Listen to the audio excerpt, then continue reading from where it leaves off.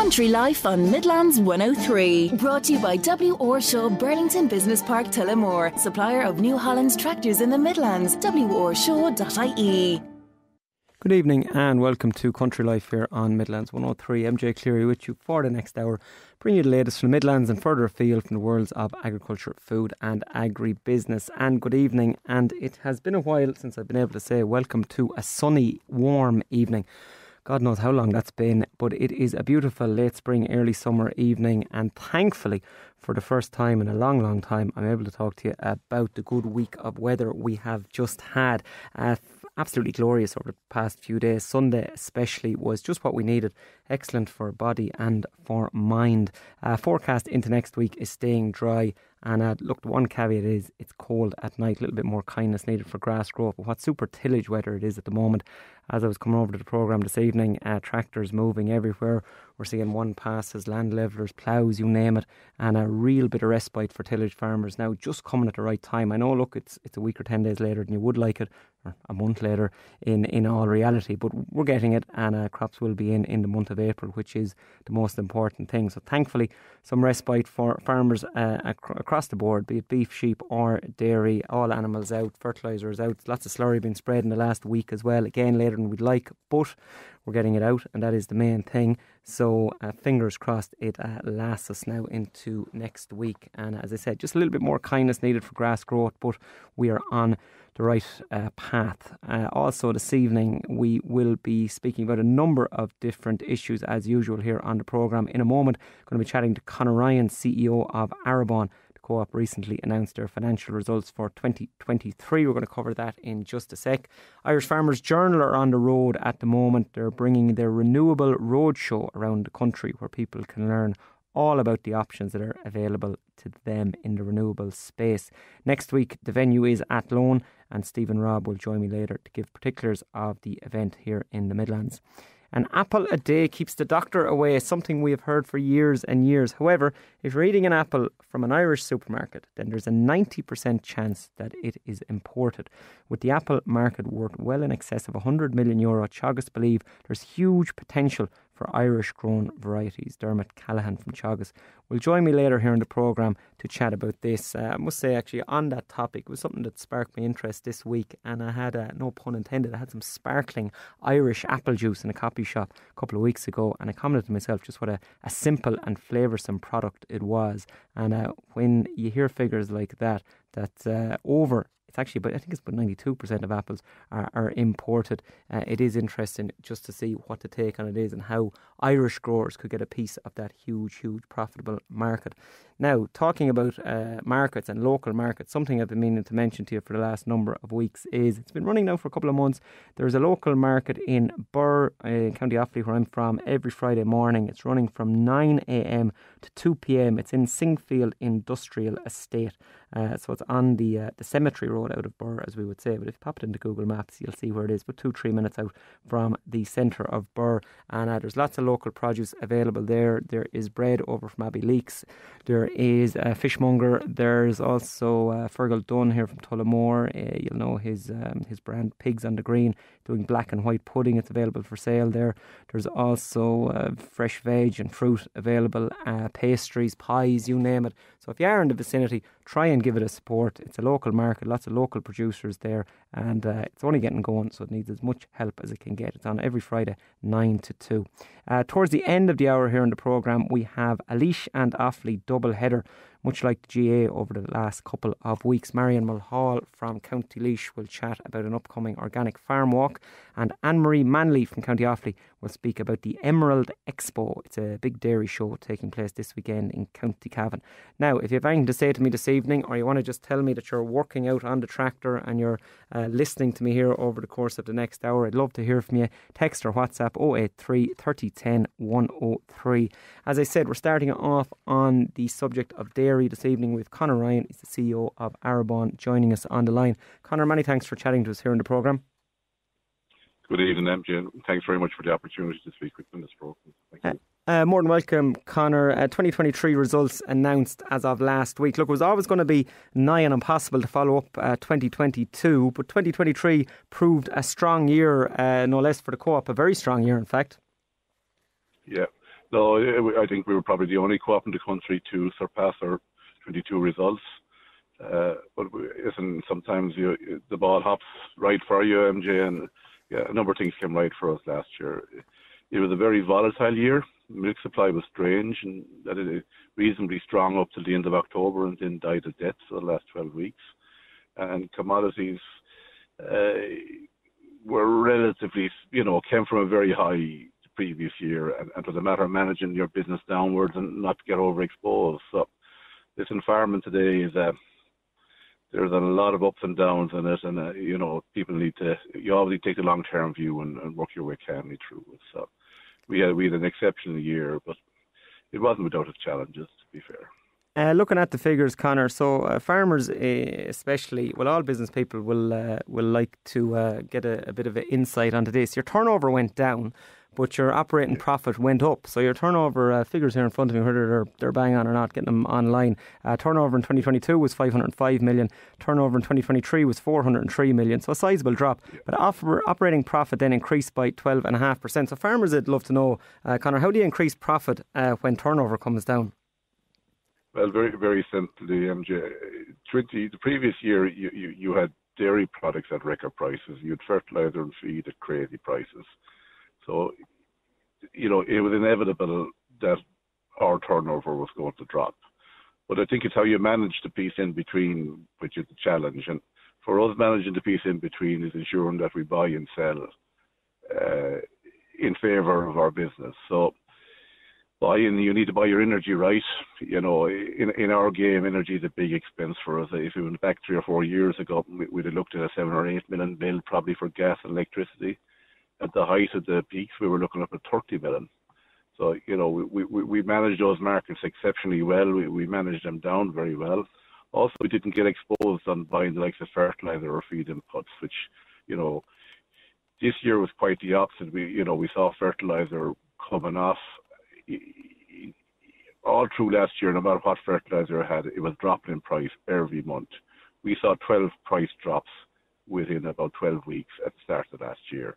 But we, we didn't overexpose ourselves. We bought as we need. We make sure we product available for our, our customers. But you could take a massive hit if you overexpose in any of those key areas. And fortunately enough, we didn't. We we didn't take positions and we let the market find its own niche. And you know, we we we developing a business that's not so reliant on the commodity markets to some extent. And they're always affected by it, but that that gave us good protection MJ. That was the reality of it. So, you know, we got our energy piece right, we got our, our, our sales right, and we didn't overexpose ourselves on, on the feed and fertilizer inputs. Uh, and we were allowed to give our customers good value and and uh, make sure we had what they needed. So it was as simple as that. There was no magic to just uh, hard work and uh, working our way through it and making sure our suppliers got the best milk price possible all year and best value in inputs. That's that's our that's our game. Yeah, well, speaking on milk price, I'm going to talk about your reduction of debt in a moment. Conor, speaking on milk price, looking here at. Uh, 2023, so your average milk price last year was just over 43, so almost 44 cent a litre. And obviously, look, the previous year, as we said, 2022, that uh, unicorn year, as we call it here in the programme, was almost 60, yeah. 61 cent in 2022. But if we remove 2022 from the equation just for a moment, uh, last year's milk price was the highest of the last. The graph in front of me is the last seven years. It was the highest you've paid uh, in any other year. So it was it was a good milk price, like 44 cent. It's a it's a, it's a very good milk price. I know the inputs are, are the problem and are the killer at the moment, but it was still it was it was a strong milk price. Second highest milk price ever, MJ. Mm. Put it in perspective, it, it, it was. And let's be honest about it you know, in our wildest dreams the previous year, we never have seen that milk price was going to go to those levels. You know, people took fixed milk price contracts. You know, in my head, if we saw a milk price between 38 and 40 cents, I, you know, you, you get very excited. Mm. To think it went to where it went was just incredible stuff.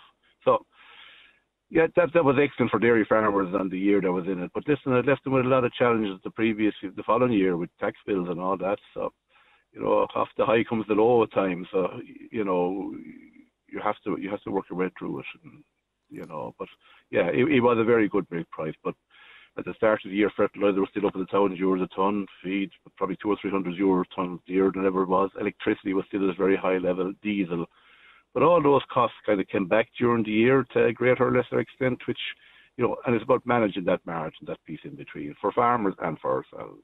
So, you know, it's a milk price today is very, it's extremely volatile. Uh, and uh, if, you know, from our perspective, every day we spend a lot of time trying to ensure we're, we're, we're well positioned and not oversold or undersold, but to the to the very to very volatile market, unfortunately. Yeah, and one thing you're doing uh, to ensure you're not overexposed is reducing your debt level. Again, every farmer, dairy farmer, beef farmer, whatever type of farmer you're doing, uh, nobody wants to be overexposed because bad times can come.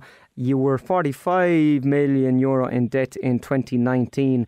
Uh, that is down to just over 10 million euro. So you've paid off 35 million euro in the last four years. Uh, from any business perspective, like that's that's great going, and that's I suppose look where it's where you want to be in any business. You want to be paying off your debt and uh, making yourself resistant to the volatile markets. Yeah, that isn't co-ops. Ultimately, we're farmer-owned business. Exposure to massive debt really isn't where we need to be. You know, uh, we have to be able to ride out the turbulent times. We had no choice but to borrow money. We were in a different era. It was all about milk expansion. We had to put in capacity. We had to be making sure we were able to handle milk. So we had to borrow money. We're not comfortable borrowing high levels of money, but then we were fortunate enough the decisions we made were the right ones and have left us, you know, with a relatively low level of debt. But it was, you know, we were at our AGM in Nenagh last Friday, and one of the questions that came up from the audience, uh, and our auditor explained that our balance sheet was very conservatively balanced. And one of the lads asked him the question, like, why would you not go and revalue your properties, etc. By the nature of our business, we can be ambitious for our business, but I think around our balance sheet and our debt levels, we always have to be conservative. You know, we'll make decisions on the basis of a thousand dairy farmers out there. They have college fees and fluctuating milk prices. So at all times, whereas we like to be doing our best and driving forward, the core of the business must be stable and, and you don't need excessive debt, particularly in the last couple of years where you had high interest rates. So we, we were conscious of trying to get that debt level down at all times. Uh, one thing you did was an extension to your Dan O'Conor Feeds mill. People will know that brand. It's a brand in itself now. Not yeah. a lot of people don't actually even realise it's owned by Arrabawn, but it is a brand in itself. The Dan O'Connor Feeds. You see the lorries driving around the country. Did a three million euro extension to that in 2023. What you do uh, uh, there, Connor? Was that a complete overhaul, or were you just uh, fixing up existing premises? We we had two le- uh, feed lines there, as we call it, and we put in a third one, 16 ton hour feed line there and in fairness, the business is about 150, 160,000 tons. So it's a substantial business off a very small platform. And we have covered it over the years, working excessive hours, working Saturdays and Sundays. And the fairness to the workforce in there, they've always been willing to, to, to turn up and do the job for us. But, you know, at times then we ended up buying products externally to, to give us support to pipes in the market. So we had a plan for a while to, to put in that capacity. And that was put in on time and on budget, and we're very happy with that investment. So, uh, you know, it, it, it's a very decent business in there and well located just on the edge of Limerick City with good access right up into Galway or out into Tipperary or up into Offaly or down into North Cork. So we, you know, we, we do a good business out of it. It's a good name and a good reputation going back many years. So it was well over, it was a long time overdue, MJ, if I to be absolutely honest about it you know, we should have done it a few years previously, but listen, with a lot of other stuff going on in the business, so it was about wait for the right time to spend the money, basically. Do all the different strands of the business uh, stand up on their own, uh, Conor? Do you ever need to go from, uh, does one need to uh, help out the other one? For example, the fees, are they profitable on their own? The nuts, I presume they are. Are the stores profitable on their own? Do you ever need to, to move money across yeah. to ensure that they stay tipping away? Obviously, the milk is profitable. Uh, are they all standalone sound, or sometimes is there is there movement across? Uh, no, no. Listen, both are. We we combine our stores and our feed business into what we call our agri business, and, and we treat that as a business unit. And then we have the industri- the ingredients business, which is a separate business. They are both separately profitable. Uh, listen, we have stores. Some of them are exceptionally good stores, more than you might be making a whole lot of money out of them, but they're important in their locality. Mm. So you know they provide. It's not about making money sometimes in those stores they're there for generations. They might be the only thing left in a parish or a region. You know, we we we would be kind of religious enough about making sure we keep them open and viable. Uh, so I wouldn't say every one of them is making us a fortune, MJ, but they have a role to play. It mightn't necessarily be about making big money for us, but some of them, listen, some of our stores are exceptionally good, like so that Rye, Nenagh, the store board, the diesel store, Borrisokane, up into Killimor. We have other stores that are more out in the periphery and wouldn't have the wouldn't have the footfall. But that's not to say that they don't play a role for us. So. Yeah. No, absolutely, uh, and it's, it's nice to hear that as well, Conor. It's not all about uh, the bottom line, and uh, when you're look, you're dealing with a co-op, so um, you know that's the that's the model, and and that is that is nice to hear uh, when you're talking about the countryside and giving a, an outlet for people. Conor, I'm going to say many thanks for uh, joining me. Uh, great success there in Arrabawn last year, and long may it continue. Many thanks, Conor. MJ, my pleasure. Thank you very much for the opportunity. Cheers.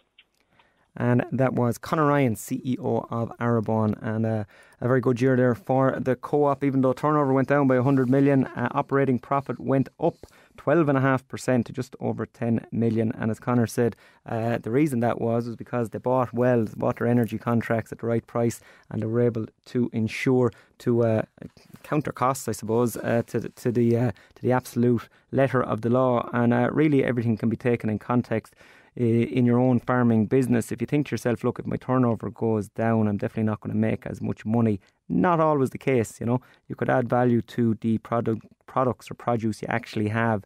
Say, for example, if you're a beef farmer and uh, maybe you were rearing calves and you were selling 100 a year and you're only making 200 a calf, that'd be 20,000.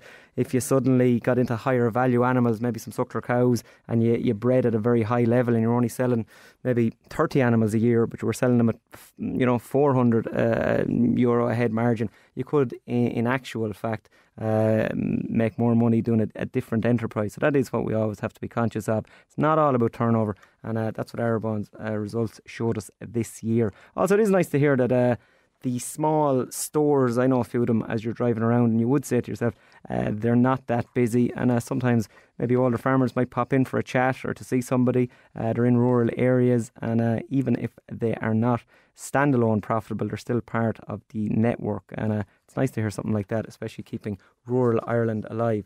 Now, moving on to an ad break, and afterwards we're going to be talking about apples. And as we said, an apple a day keeps the doctor away, but nine out of ten of them are brought in from abroad. So Teagasc feel far more apples can be grown here in the country. Let's hear about all about that in just a moment. Country Life on Midlands 103, brought to you by W. Orshaw Burlington Business Park Tullamore, supplier of New Holland's tractors in the Midlands. worshaw.ie. And you're very welcome back to Country Life here on Midlands 103. Now we're moving on to apples, and we have Dermot Callaghan from Teagasc on the line. Dermot, many thanks for taking my call this evening. Hi, MJ. Nice to talk to you. Uh, you're more than welcome, uh, Dermot. You're head of Teagasc's Horticultural Development Department, and uh, an area you feel that we're missing a trick on here in Ireland is uh, apple production. Can you give us a bit of background on this, please, Dermot? Yeah, well, look, uh, last week we would have announced uh, we would have had the first research update from a newly established apple research program in Oak Park in Carlow. So, really, what we're we're trying to do in that research program is to develop um, some new models of production for the Irish system and for the Irish climate. Um, we understand that there's a, a, retail market worth 135 million euros, uh, and over 90% of that market for eating apples, 90% of that market is imported. So there's there's a lot of headroom there for more Irish production. We believe there's 30 or 40 million euros worth of potential there in terms of more Irish production, but it will rely on getting uh, new new systems of production and adopting new varieties and technologies into an Irish scenario. Were we always importing this amount, uh, Dermot? Ninety percent. It's a, it's a, it's an awful lot. Uh, back in the day, did we grow more apples here in the country? Yeah, look, it, it, it, all happened, I suppose, with the change in how people uh, have, uh, you know, the shopping habits have changed, and not, over 90% of all fresh produce is retailed through five multiples or five supermarkets. So they have international arrangements for sourcing fruit and veg, and they would have taken in a lot more imports over time since the 70s and 80s, since that model kind of has established, you know. Yeah, I suppose it's the, therein lies the problem, isn't it, uh, with the supermarkets, the power that they have. Uh, for uh, people involved in horticulture in general, we, we speak uh, to different horticulturists on the programme here, and you see the numbers are, are dwindling in all the sectors. Uh, if you speak about broccoli or cauliflower or whatnot, I think it's a handful of growers now for, for those in the country. Uh, there obviously are the people um, producing the 10% of apples in Ireland. What are we talking about? Are there two, three, ten, twenty people doing this, Dermot? Well, there are about 15 or 20 growers who are commercially uh, sized and supplying supermarkets with Irish apples, but the volume is pretty small in the overall context.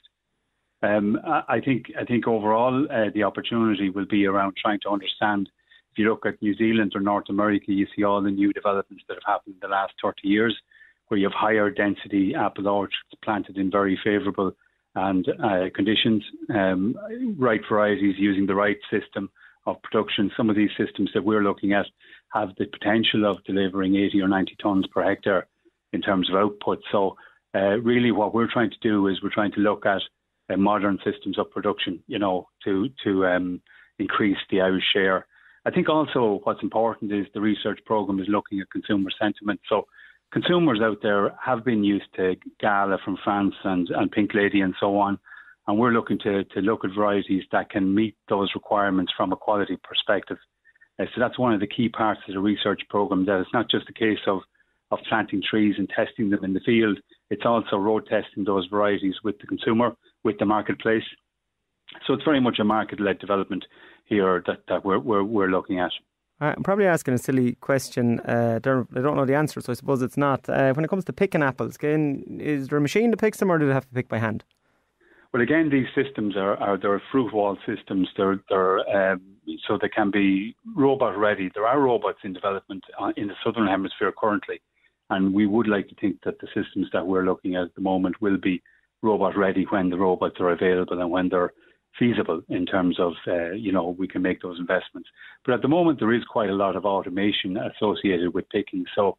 Uh, pickers are basically working uh, with two hands, and everything else is taken care of so there's automation, conveyor systems, and so on to increase productivity, and these systems lend themselves to that system very, very easily. Uh, can it be profitable, uh, Dermot? Um, apple farms, orchards, can can can uh, guys make money out of them? Well, it's all about expertise. Like any enterprise in farming, it's about uh, you know knowledge and understanding exactly what to grow. And what we're trying to do is, at the moment, if somebody came came in and said, you know, what variety should I plant, what density, how should I grow it? What market should I sell into? And so on. What we're trying to do is get all the answers to those questions so that we make the proposition investable for farmers or for growers who want to, to look at this seriously. So it'll be about having all the knowledge to hand. So, you know, um, and then you can you can kind of work the numbers out and understand what the profits are. But currently, we don't know uh, what, how certain varieties will perform in a certain system in Irish conditions. So we have to be the guinea pig and do that work and then we will package the proposition and roll it out in a couple of years' time when we have that information.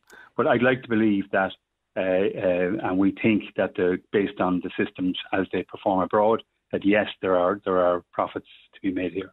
You would see on a smaller scale, Dermot often at uh, mentioned the farmers markets at the start of the program, but you would see at farmers markets regularly uh, bottled apple juice from uh, a small organic farm, um, and it is definitely an area where the smaller producers add value to their to their business by doing something. I know it's not what you're talking about; you're talking about large scale and guys getting into this in a big way. But uh, to be able to see people doing it on a smaller scale shows it does work and shows there's a business model there.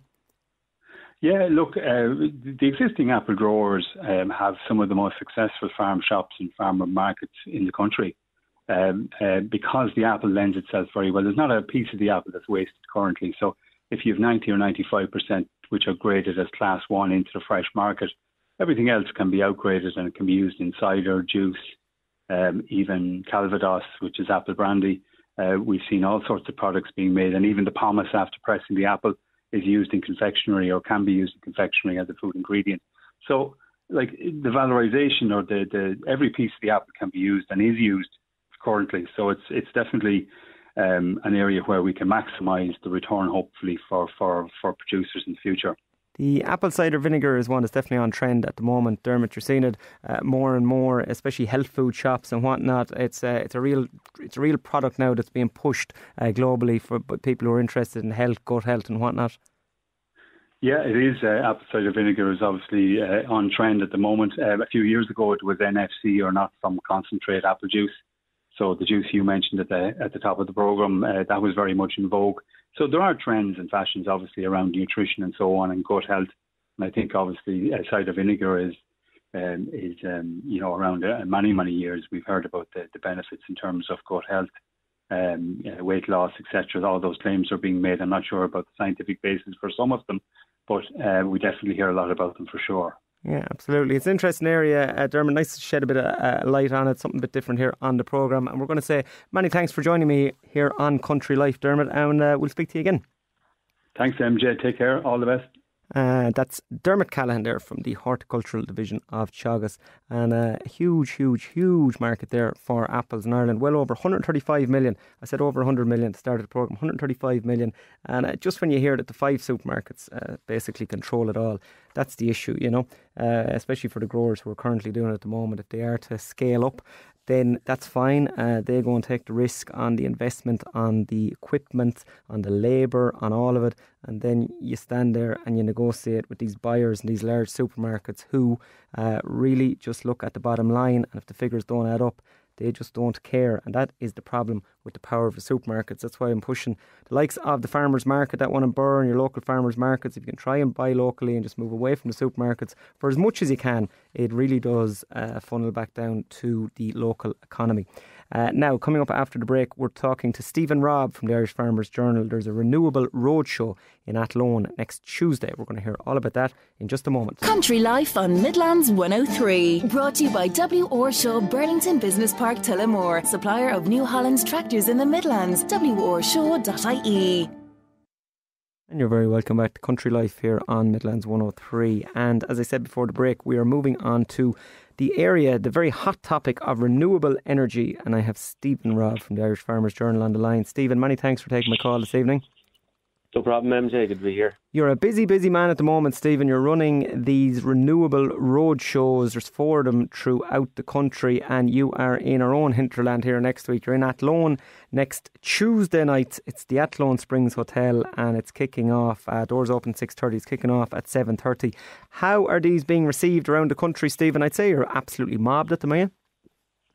Yeah, look, we, have been uh, we, have had an exceptional turnout now at the previous three events. So we went to to Cork at the start of the month, then we went to Kilkenny, and just yesterday we were in Cootehill in Cavan, and you know we're seeing we're seeing attendance numbers of, of 350 to, to 450 plus, like um, across you know per night across the uh, each location. So even even though the weather took up from Kilkenny onwards, and you know, especially last night, you know the weather was so good. Uh, we st- we're still seeing the turnout, which really, really shows the, the appetite for information out there amongst farmers uh, and businesses and homeowners, because there were there were many businesses and homeowners uh, in the audience over the past three events as well, not just farmers.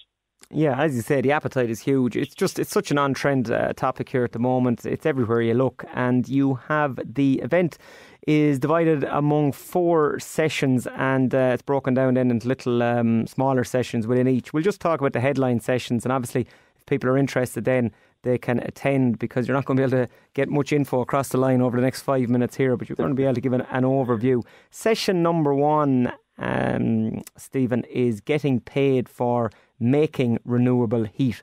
Layman's terms, what exactly are you talking about there? Yeah, so really we're talking about um, mostly biomass is what we're talking about. So biomass boilers. Um, there's a really good scheme in place uh, at the moment called the Support Scheme for Renewable Heat (SSRH), and it's designed for, for any farmer or business who uses heat um, to switch from uh, uh, fossil fuels, uh, so hot oil or diesel or whatever, to, to renewables. So whether it be biomass or, or other sources, and you get paid. You get paid for up to 15 years for the amount of heat that you produce to use on your own site. Uh, it's it's a 300 million euro scheme, and there's, there's still 280 million euro available. So it's it's there it's there for the taking. It's designed for, for farmers and businesses, uh, and we run through uh, with the, with the IrBEA with Sean Finan, CEO down to give us a talk on that. We run through the scheme, how it works, uh, and put it in, in context with some real life case studies. Right. Okay. Very good. And again, as you said, only uh, 20 million drawn down, and I'm reading yourself week on week, and I'm keeping an eye on everything. I hadn't heard about it, so um, it shows you it's so much stuff out there at the moment. It's so hard to keep on top of everything. Uh, session two, you're talking about making sense of solar PV on your farm. This must be probably the biggest uh, amount of questions at any of these events. I'd be guessing because solar PV now is just being pushed, pushed, pushed. Uh, what exactly are you going to be covering in that, please, Stephen? Yeah, absolutely. that's our by, by by a long shot, that's our most popular session. Um, really, you know, high amount of questions and queries from from attendees. Uh, we have Teagasc Barry Caslin down giving us a talk, um, just a, a, everything you need to know around solar PV for your farm uh, and your household business as well. Um, looking at the systems, looking at the types of technology that's out there, types of panels, really centering heavily on, on the grants and the available grant aid um, that's out there uh, and how to how to go about, I suppose, uh, availing of it. Then we run through two real life case studies um, of, of solar PV systems installed on a dry stock farm, a dry stock tillage farm, uh, at a dairy farm. So two kind of opposites, one low energy user, one high energy user, and it's real farms, real data provided by our partners, IFA and Bord Gáis, uh, and for the event. So and that that's you know really putting bringing to life everything that we're talking about uh, and showing how it can work. And we also run through some of the options then for, for bigger projects, you know, whether it's an export uh, orientated project which you know you, you want to install on your farm or develop your farm, or indeed if you're intended on, on leasing some of your land to, to solar farms, to wind farms, battery energy storage systems, etc. We run through kind of some of the typical values you're expected to you would be expecting to get from some of the developers. So uh, it's there's a lot of information in that session. There's a lot of information in the whole night, but uh, certainly that, that one has proven very popular. Yeah, very good. Session three, retrofitting your farmhouse. You don't have to have farmhouse here. If you move the word farm out of this, you'll probably get 10,000 at these events. Uh, this is, again, room to improve on this season. We see um, retrofitting of houses occurring now, older houses, the uh, the grants available for all of this. Again, massive, massive area trying to fit it in here. But uh, the fact that it's the it's the farmhouse, uh, big interest, I'd be guessing again in this one, Stephen. Yeah, absolutely. Look, farmhouse, uh, you know, rural house, um, or even house in a housing estate. Um, you know, we're we're seeing all all types of homeowners attend the events uh, to learn to learn just just that. You know, what's actually out there, what's available, and and how do you go about um, availing of it. So, look, most of them are centred around the, the available SEAI grants, of which there are plenty. Um, but we'll also touch on the vacant homes grant, um, which is proven popular for, for maybe some farmers who would have you know, a derelict property on on the farm somewhere, well, you can go up to seventy thousand to do that up, and that's there's been quite a bit of interest around that as well. Um, and then uh, obviously just just today we had the announcement of the at long last the low cost uh, energy efficiency scheme, I think it's called, um, designed specifically to to to provide low cost finance to homeowners who are uh, embarking on an energy upgrade uh, journey by by uh, availing of, of some of these grants and whatnot. So look, that's that's been the big the, the big game changer we've been waiting for uh, to really see this whole area kick off, and and that's kind of what we cover throughout the night. Has there been just on on that uh, low cost? Is there any figures on that uh, yet, Stephen, in relation to interest rates, or have they been announced yet? I suppose it'll depend on the lenders. Uh, depend on the lenders, but we're here and it could be in around 3.5%. Oh, very good. Uh, which yeah. is exceptional. Yeah, so yeah no, that's very good. Yeah, no, that's, that's, is, yeah. yeah, that's exactly what we need. Last one, Stephen, just in a word, I'm going to ask you to do it in 45 seconds. Anaerobic digestion and farming. How will it work? Now, you learn your, you learn your wages tonight. Go. Yeah, absolutely. So look, hearing an awful lot about anaerobic digestion these days, I run through what it actually is, what it actually means for farming, and where we think that it's going to go in the future, and, and how to get involved. And that's it in a nutshell. Lovely stuff. Well, Stephen, look, you're going to be very busy next Tuesday evening. There's going to be lots of our listeners here going over to you at Athlone Springs Hotel. Doors at 6.30, starts at 7.30. It's free entry. Booking in advance, if possible. Go on to irishfarmersjournal.ie uh, and you'll find the details there. And uh, Stephen, we will speak to you again on the programme. Many thanks. Thank you very much. All the best. Uh, Stephen Robb there from the Journal. And I am just going to shoot straight to a break because we are under time pressure and I want to get back to speak to Marianne Mulhall and Ann Maree Manly. So stay tuned for that. Country Life on Midlands 103. Brought to you by W. Orshaw Burlington Business Park Tullamore, supplier of New Holland's tractors in the Midlands. WORshaw.ie.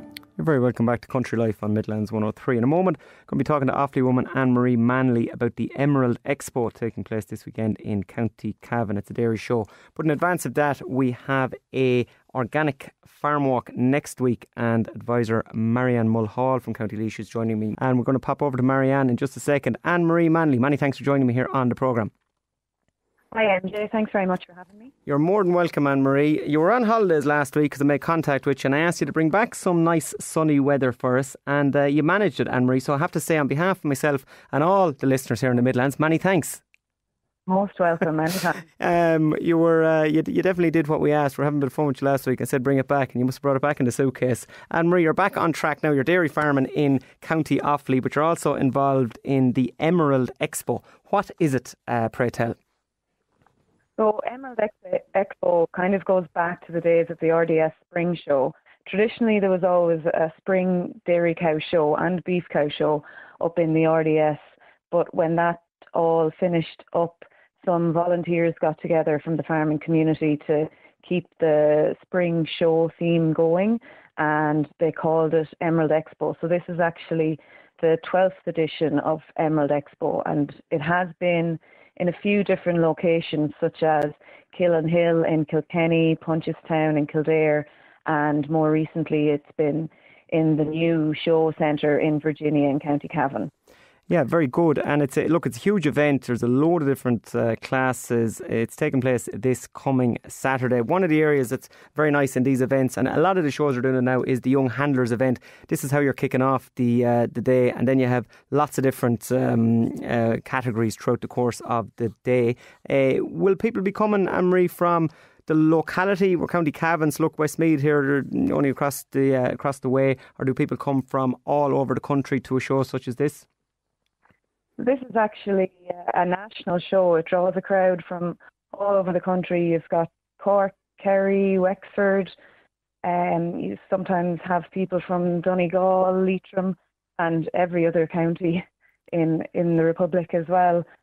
So it's a great it's a great draw card, and um, for farmers, much like future of your herd is in your young stock, the future of showing is also in the young people, and getting people involved at a young age is really important. And that's the benefit of the, you know, the young handler classes and these opportunities. For me, I grew up going to Tullamore Show. That's my local show. So every weekend during the summer, we'd be off at different shows, and I was showing calves. And it's instead of going to GAA matches, we were going to cow shows or agricultural shows all over the, the country. So it's a brilliant hobby to have, and it's a good social outing for farmers as well. Yeah, you nailed it with the social outing. Ann Maree, look, we all know everyone involved in agriculture, the last eight, nine months have been very, very, very challenging. This spring really was a tough one for everybody. And to have the sun shining, which it will be this coming weekend, and to go and see fine, fine stock and to be chatting to your colleagues and your peers, uh, it will be a lovely day out. And there is a big, big social uh, aspect to these shows, and it's something we can't forget about. Absolutely. And, you know, one term we always had was it's your show family. You know, you meet up with your show family at the weekends, or you meet up with the people you're always seeing at shows, and like-minded people that have an interest and a passion for breeding cows and, and for coming together with a healthy bit of competition now, mind you. Of course, everyone's exactly. striving to get the red rosette, but whoever wins gets high compliments because it takes a lot to turn a cow out to become champion of a show. A lot of things have to fall into place. It's not just what happens on the day. It's all the preparation that goes in in advance. Yeah, absolutely. Well, it's uh, going to be a big, big, big event. It's taking place this Saturday. It's in the uh, Cavan uh, Equestrian Centre, Ann Maree. Is it in Cavan? No, no, it's in the Virginia Show Centre. Virginia, yes, sorry, that's what, that's uh, you, took the words out of my mouth. The Virginia Show Centre I had it written down here, and uh, that's taking place. Roughly, what time are doors open? What time can people attend? Um, judging should start at about 10 a.m. with the young handler classes, and um, people will be able to wander around and look at the animals being prepared in advance with safety of animals and people forefront. And um, then the championship should be, depending on how quick the judge is at making up his mind on the day, it should be at around two o'clock or three o'clock in the day. The main championship. There will be other championships, like the Young Handler Championship, will be early on in the day.